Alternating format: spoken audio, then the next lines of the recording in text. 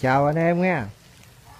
Thì à, hôm nay tôi sẽ quay lại cái cảnh con dế nó ăn rau muống nha anh em.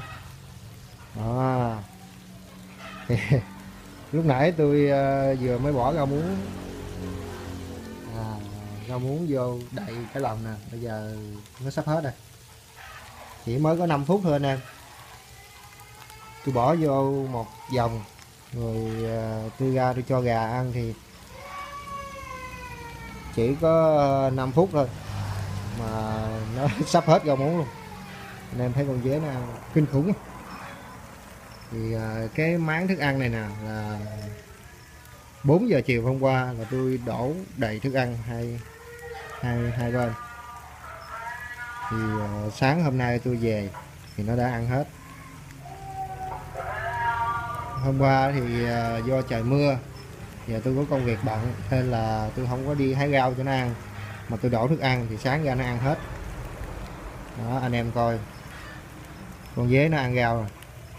Đó, rau muống. Sáng là rau muống nè rau muống là gì của tôi á. Thì ờ, sáng đi uống cà phê xong rồi xin ờ, một mớ rau muống của người ta rồi bỏ vô hàng rào cho tôi. Tôi về tôi thấy rồi tôi mới nè anh em để ý cắt ra ha anh em. Anh em cắt ra cho nó nhỏ. Rồi anh em gãi đều gãi đều lên mặt. Là con dế nó ăn. Anh, ấy, anh em thấy nó ăn không? Và anh em kết hợp như thế này khi mà anh em gãi rau lên xong thì anh em sẽ dùng cái bình xịt nước. Đó, anh em xịt. Xịt xương qua con dế nó vừa ăn mà nó vừa uống. Đó, anh em thấy không? Có nước. Mà.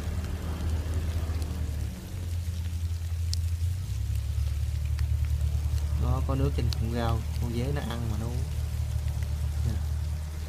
Dế nó đeo lên cây rau.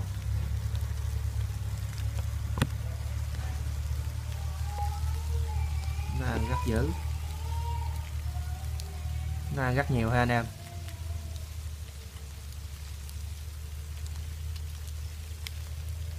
thì uh, dự kiến cái ô giá của tôi tuần một tuần nữa sẽ xuất bán.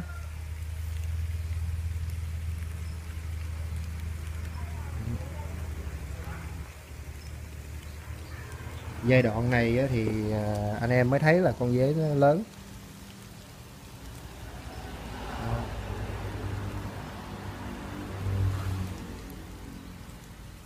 Đây con dế này nó ăn.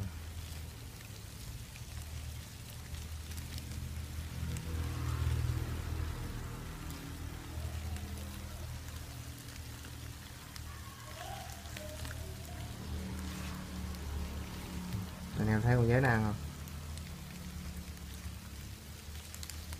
Khoảng hơn 5 phút mà con dế nó ăn gần hết cái lượng rau. Nó tôi gãi vô nhiều như vậy đó. Mà nó ăn thì à, mấy cái ô này thì còn còn cái lượng thức ăn một ít. Tí nữa thì tôi sẽ đổ vô thêm. Cái ô nào còn nhiều quá thì tôi không đổ. Thì à, con dế chăm sóc đơn giản vậy đó anh em thì mình có đủ nguồn rau cho dế nó ăn. Và thức ăn thì mình cứ đổ. Chừng nào hết thì mình đổ chừng nào hết thì mình đổ chứ không cần quy định mấy. À, anh em ờ, nhìn thấy cái ô dế hai cái ô dế của tôi có gì khác không? Đó, anh em thấy à. Đây. Chỉ còn bao nhiêu đó thôi. Ô dế uh, những ngày trước thì nó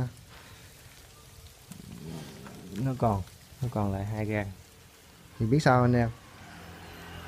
Tôi bỏ thêm một lớp dĩ nữa là lớp dĩ thứ ba. Sau 22 ngày tôi bỏ thêm một lớp dĩ nữa là lớp dĩ thứ ba. Để cho con dế nó có không gian rộng hơn. Thì uh, cao như thế này thì con dế nó sẽ không có bay ra được đâu, nó không nhảy ra được đâu anh. Em mà nó cũng chả nhảy ra làm gì. Mình có đủ thức ăn, đủ rau xanh cho nó ăn, đủ không gian cho nó chơi, nó bay nhảy. Thì làm gì nó sẽ bay ra ngoài.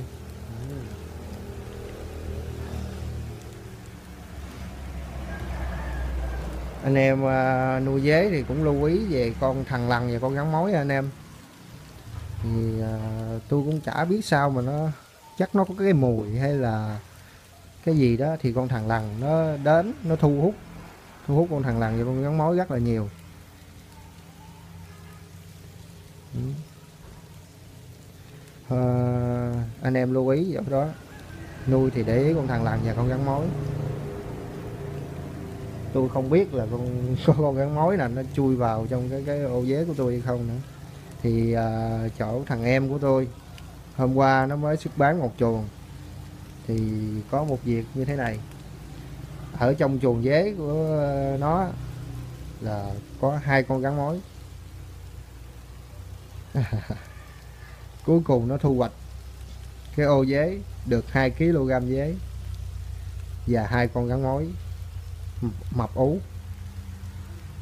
À, bởi vậy anh em thấy thiệt hại rất là lớn ha anh em? Một ô dế một ô dế mà dự kiến 10 12 đến 16 kg mà lại à, có hai con gắn mối trong đó, không phát hiện được. Dẫn đến là thiệt hại rất là lớn. Hai con giống gắn mối thì đâu có vỏ có béo cho nó bao nhiêu đâu mà nó ăn hết. Bao nhiêu con dế trong đó. Con dế bự thì con gắn mối ăn không có bao nhiêu á anh em. Nhưng mà lúc mà con cái dế nhỏ như vậy nè. Dế, dế nhỏ. Dế nhỏ như cỡ này. Nếu nếu mà con ờ, gắn mối nó ăn nó vô thì nó ăn. Là tiêu luôn anh em.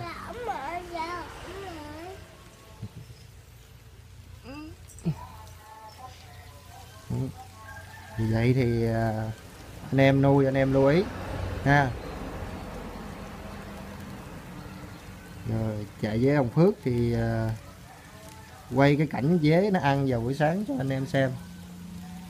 À, chúc anh em một ngày đầu tuần làm việc đạt được thật nhiều thành công. Chào anh em nha.